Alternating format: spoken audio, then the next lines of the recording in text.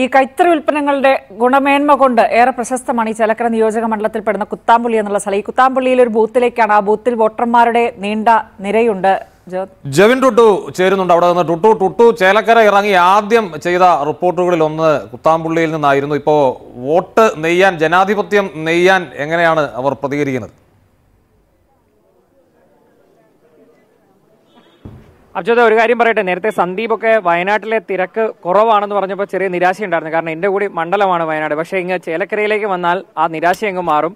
ഞാൻ നിൽക്കുന്നത് കുത്താമ്പള്ളിയിലേക്കുള്ള വഴിയിലുള്ള ഇരുപത്തൊടി എന്ന് പറഞ്ഞ സ്കൂളിലെ അവിടുത്തെ ബൂത്തിലാണ്. മൂന്ന് ബൂത്തുകളാണ് തിരുവല്ലാമല പഞ്ചായത്തിലെ നൂറ്റി ഇരുപത് ഇരുപത്തി ഒന്ന് ഇരുപത്തിരണ്ട്.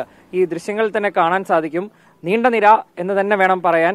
പ്രത്യേകിച്ച് വനിതാ വോട്ടർമാരിങ്ങനെ വന്ന് നിറയുകയാണ്. നമ്മളിവിടെ നിൽക്കുന്ന സമയത്തൊക്കെ പല സ്ഥലങ്ങളിൽ നിന്ന് വന്ന് കൂടുന്ന ആളുകളാണ്. കുറെ നേരം ഇരിക്കുന്നു കുറെ നേരം നിൽക്കുന്ന ആളുകളുണ്ട്. ഇവിടെ ഇതുപോലെ വോട്ട് ചെയ്യാൻ വേണ്ടി പ്രയാസപ്പെട്ടാണെങ്കിൽ കൂടി വോട്ട് ചെയ്യാൻ എത്തി വോട്ട് ചെയ്തിട്ടേ മടങ്ങൂ എന്ന് പറയുന്ന ആളുകളുണ്ട്. അങ്ങനെയുള്ള വലിയൊരു സംഘം ആളുകളുടെ തിരക്കാണ് ഇവിടെ ഇതിപ്പോൾ കൂടുകയുള്ളൂ. കാരണം ഇപ്പോൾ സമയം മൂന്നേ മുക്കാലായി നാല് മണിയോട് അടുക്കുന്നു.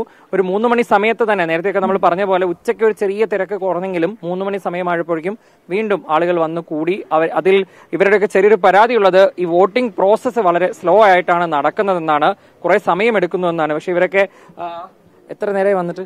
കുറച്ചു നേരമായി. ഒരു മണിക്കൂർ കഴിഞ്ഞു. ആ. മെല്ലെ മെല്ലെ നടന്നു പോകും ആ വയ്യ കാലിലും പൊട്ടിന് കേടാണ്.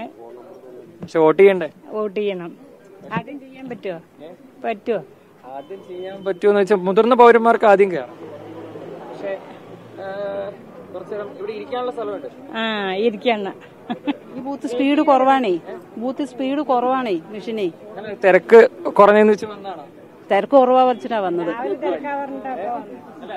തിരക്ക് കുറവാ വേണ്ട ഞങ്ങൾ വൈകിച്ചത്. പക്ഷെ ഇവിടെ സമയം ഇവിടെ ഭയങ്കര തിരക്കാണ്. ചെയ്തിട്ടല്ലേ ചെയ്തിട്ടല്ലേ പോളൂ വോട്ട് ചെയ്തിട്ടേ പോളൂ വാശിക്കാണ്. വോട്ട് ചെയ്തിട്ടേ പോളൂ തീർച്ചയായിട്ടും. സാധാരണ ഈ തിരക്കൊക്കെ ഉണ്ടാവാറുണ്ട് ഞങ്ങളുടെ ഈ ഒരു ബൂത്തിൽ തിരക്ക് കാണും. സ്പീഡ് കുറവാകൊണ്ടാണ് ഇത്രയും തിരക്ക്. ഭക്ഷണം കഴിച്ചു? അതൊക്കെ കഴിച്ചു? അതൊക്കെ ഞങ്ങളുടെ വീട് അടുത്താണ് അടുത്താണ് എല്ലാരും വന്ന് വോട്ട് ചെയ്തു ആ ഇനി മോനെ കൊണ്ടല്ലോ ഞങ്ങൾ പോയിട്ട് വേണം പകുതി ആൾക്ക് വരാൻ. അവരെ കൂട്ടി ഒരുമിച്ച് ചെറിയ കുട്ടികളെ കൊണ്ടുവരാൻ പറ്റില്ലല്ലോ. അവർ വീട്ടിലാക്കി വന്നതല്ലേ? അപ്പൊ അതിന് ആൾ വേണ്ട വീട്ടിൽ? ചെയ്തിട്ടേ പോകുള്ളൂ എന്നാണ് അബ്ജോദ് ഇവിടെ ആളുകൾ അതാണ്. ഇതുപോലെ വന്ന് നിറയുന്നു ഒരു അതാണ് ടുട്ടു. ബൂത്താണ്. ചോദിച്ചതാണ്. അതെന്തൊരു ചോദ്യമാണ് വോട്ട് ചെയ്തിട്ടേ പോവും അപ്പൊ വാശിയോടെ വോട്ട് ചെയ്യാൻ ചേലക്കരയിൽ ആളുകൾ നിൽക്കുന്നു വോട്ട് ചെയ്യാൻ വാശിയില്ലാതെ വയനാട്ടിലെ വോട്ടർമാർ നിൽക്കുന്നു. ഇപ്പോൾ ജഡ്ജസ് പ്ലീസ് നോട്ട് എന്ന് പറയുന്നത് വയനാട്ടിലെ പാഴായ വോട്ടുകളിൽ ഒന്നാണ് ഇപ്പോൾ നമ്മളോട് സംസാരിച്ചത് ജെവിൻ ടുട്ടു.